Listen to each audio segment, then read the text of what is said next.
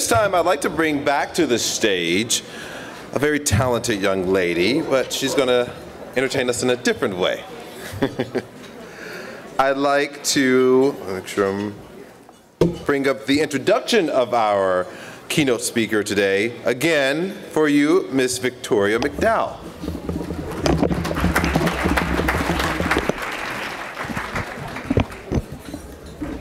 Good afternoon, ladies and gentlemen. Dr. Emmett D. Carson is the founding CEO of Silicon Valley Community Foundation, an international thought leader in the field of philanthropy. In 2006, he led the unprecedented merger of two community foundations creating SVCF.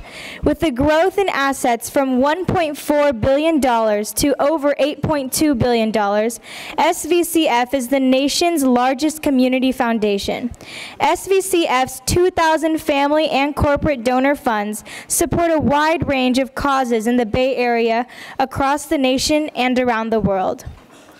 Before this, Dr. Carson had a distinguished 12 year career as CEO of the Minneapolis Foundation, and prior to that, oversaw the Ford Foundation's U.S. and global grant making program on philanthropy and the nonprofit sector.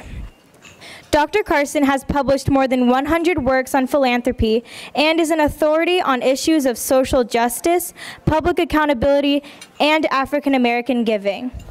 He is constantly recognized as one of the most influential nonprofit leaders in the U.S. and has honorary degrees from Indiana University, Morehouse College, Becker College, and the National Hispanic University.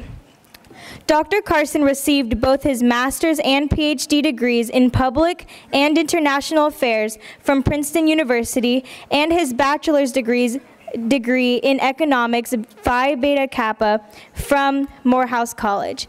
Now, please give a warm welcome to Dr. Emmett Carson.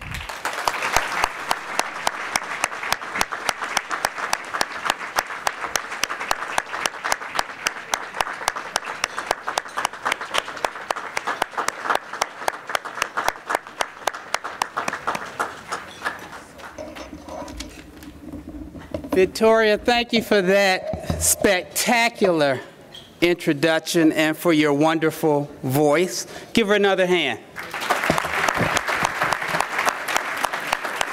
I also want to thank all of the honorees and, uh, and thank the wonderful uh, people who have performed for us the singer, the spoken word, the performance that we had. They were all great. I haven't heard Trouble the Water in a long time, and I needed it. So thank you.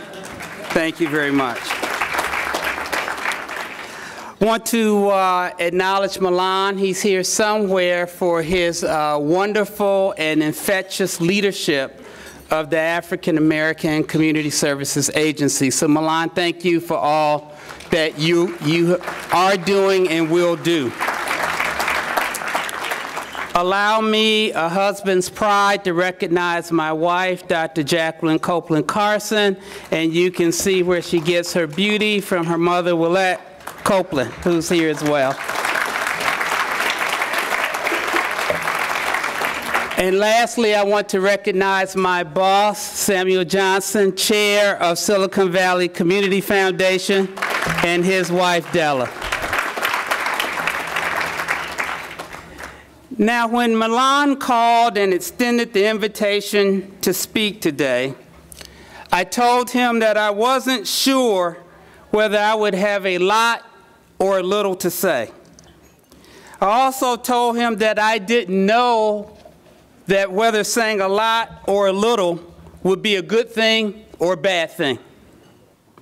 I said this because of my deep and growing belief that our nation's democracy is at grave risk. I am keenly aware that whenever I speak publicly, that I am the spokesperson for Silicon Valley Community Foundation. I'm proud that the Community Foundation is a local and national leader helping individuals, families, and corporations achieve their philanthropic goals locally, nationally, and around the world. The Community Foundation is a big tent of varied interests and ideas about how to make our community and our world better places. Like all nonprofit organizations, the Community Foundation is required by law to be nonpartisan and non-political. Nonpartisan simply means that the nonprofit organization does not have a preference for a particular political party or candidate.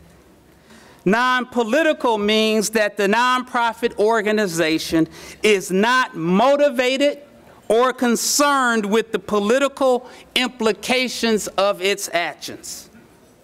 Unfortunately, too many people even those within the nonprofit sector incorrectly interpret this as meaning that nonprofit organizations are prohibited from advocating or lobbying on behalf of public policy issues.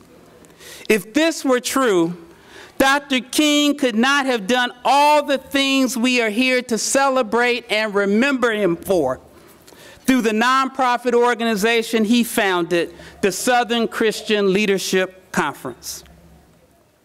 Unlike private foundations that represent private interests and are prohibited from lobbying in favor or against legislation, community foundations have diverse community boards, hundreds of donors, and can by law directly lobby on behalf of their values. Silicon Valley Community Foundation actively lobbies at the local, county, state, and federal levels on issues of housing, education, immigration, and income inequality. Now, I provide you with all of this context because I have decided that I have a lot to say. but I won't take too long. To do anything less than to speak truth to power, given current events, would dishonor the life and legacy of the man who we are here to honor. A man who said to remember him as being a drum major for justice, a drum major for peace, and a drum major for righteousness.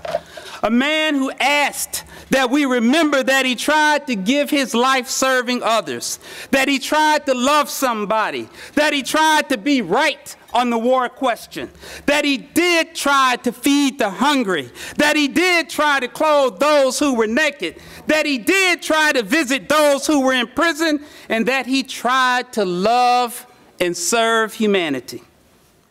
The preamble of our Constitution proclaims, we the people of the United States in order to form a more perfect union, establish justice, ensure domestic tranquility, provide for the common defense, promote the general welfare, and secure the blessings of liberty for ourselves and our posterity, do ordain and establish this Constitution of the United States of America. In his historic speech, at the 1963 March on Washington, Dr. King asked that the nation make good on the Constitution's promise. He said, quote, we've come to our nation's capital to cash a check. When the architects of our republic wrote the magnificent words of the Constitution and the Declaration of Independence, they were signing a promissory note to which every American was to fall heir. And so today we find ourselves in a country that seems no longer to proclaim justice and liberty for all. The promissory note that Dr. King felt the country owed to every American that had been marked insufficient funds is today marked account closed and return check to sender. The question before all of us isn't what Dr. King would do. We know the answer. The question is what will each of us do to confront the challenges facing our democracy? At this very moment, we have U.S. citizens struggling for their lives in Puerto Rico who are in desperate need of water, food, shelter, and medical supplies, while our country's leaders ponder how much the relief effort will cost. We bear witness to incontrovertible evidence of global warming as our oceans rise and 500 year floods and storms happen with increasing frequency, our country's leaders choose to withdraw from global climate agreements. We understand the need to require everyone who drives to have auto insurance. While we have passed tax reform that is estimated to result in 13 million Americans withdrawing from the health care system with promises to take it away from the remaining 17 million people. I would observe, observe that Dr. King once said, of all of the forms of inequality, injustice in health care is the most shocking and inhumane. Silicon Valley Community Foundation is a steadfast champion for inclusiveness, diversity, and the acceptance of immigrants in our community. And so President Trump's comments and actions on race, diversity, and immigration are especially troubling as we remember Dr. King's dream of racial equality. We have a president who is advised by alt-right white nationalists and has refused to denounce either the ideology or the violence of neo-Nazis and white supremacists.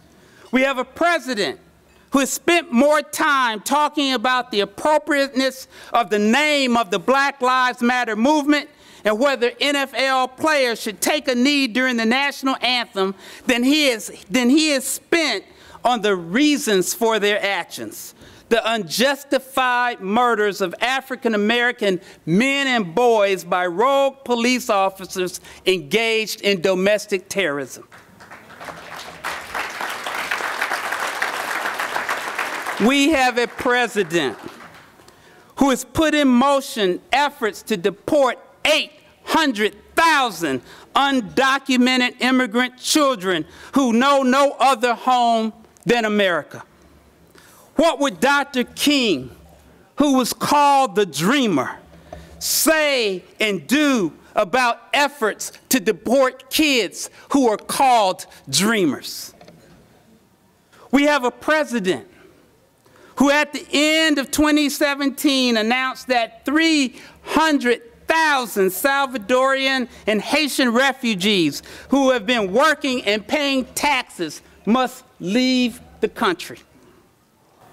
And unbelievably and painfully, on this very day, when the nation observes, remembers, and recommits to Dr. King's dream of racial equality and inclusion, we have a president who must publicly state that he isn't a racist, following widespread reports that he referred to immigrants coming from El Salvador Haiti, and the 54 nations of the African continent as coming from shithole countries while wanting more immigrants from places like Norway.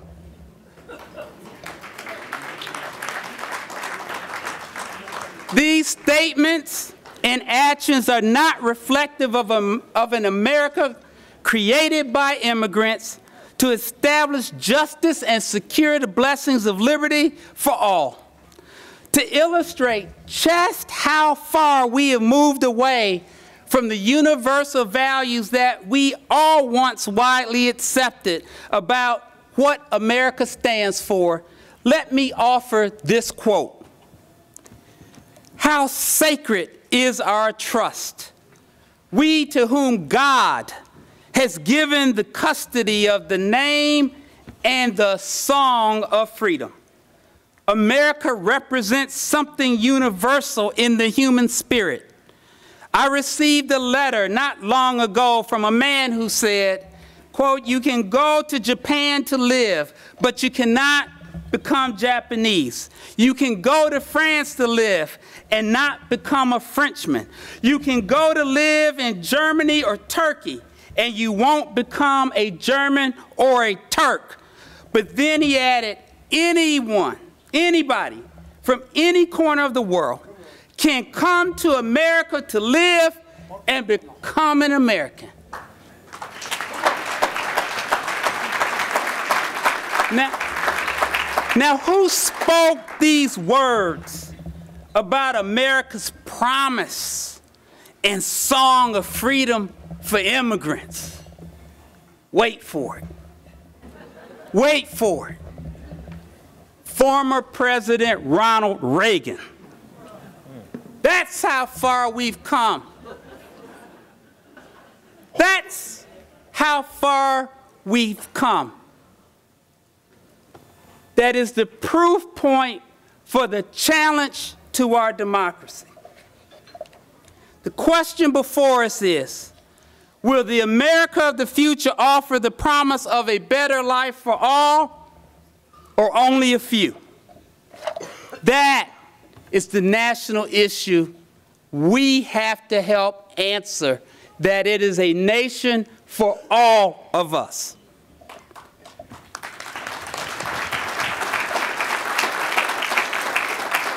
Now, I know you're getting antsy, so I'm going to bring it home in a minute. The problems aren't all national. Here in the great state of California, we have work to do. California's traffic fines are among the highest in the country, totaling $400 or more. African Americans and Latinos are disproportionately stopped and ticketed and therefore more subject to these fines. The Community Foundation is supporting SB 185 to change this. Join us.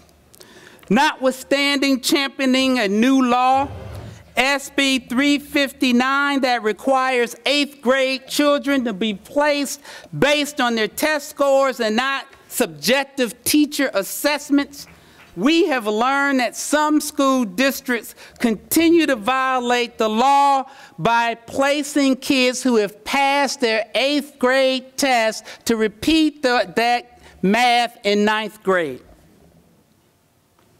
The Community Foundation is committed to ensuring that the new law is enforced. Join us.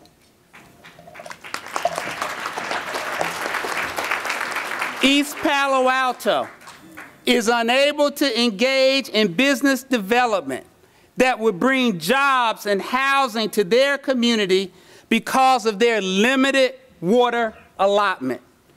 Yes, you heard me correctly.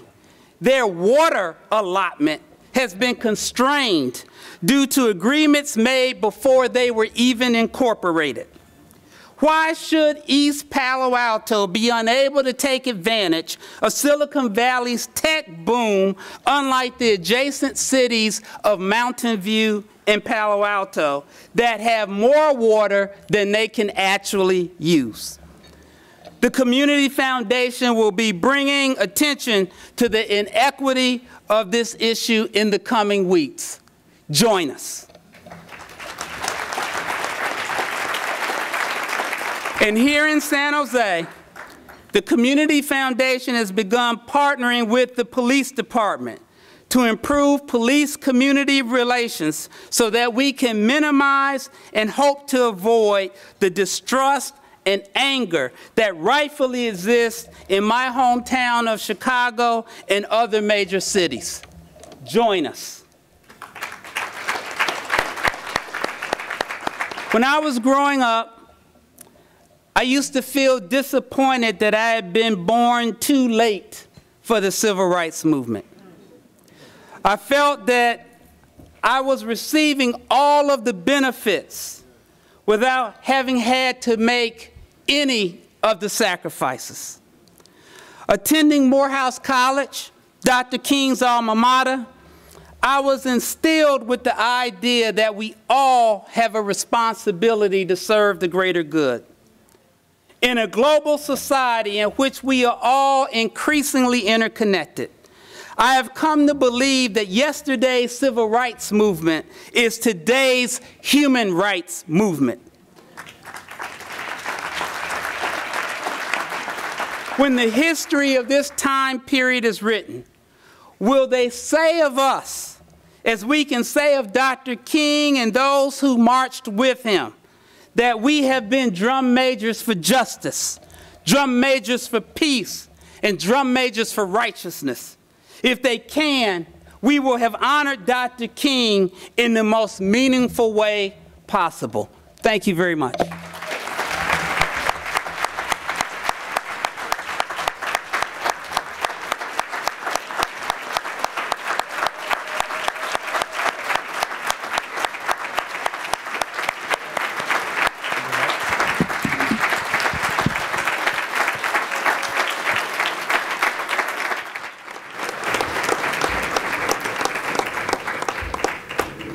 Good, afternoon, everyone. My name is Dayana Reddick, and I am honored and privileged to be here with you all to honor the late Reverend Dr. Martin Luther King Jr.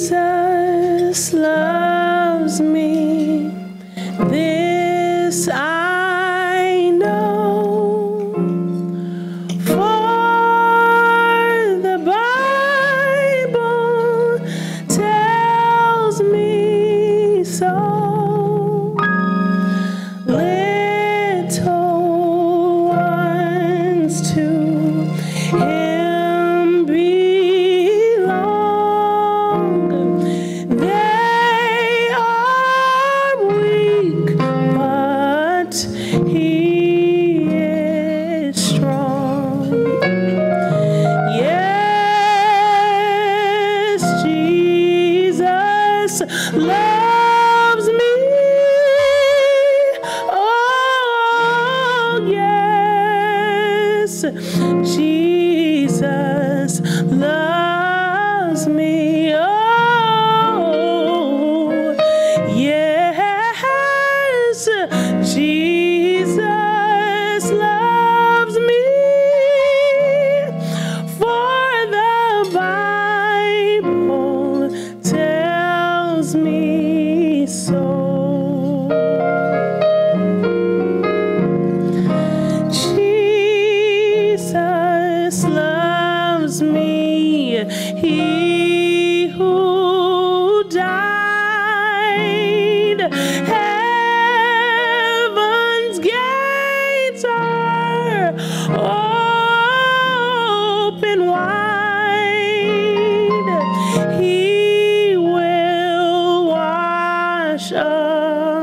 away my sins.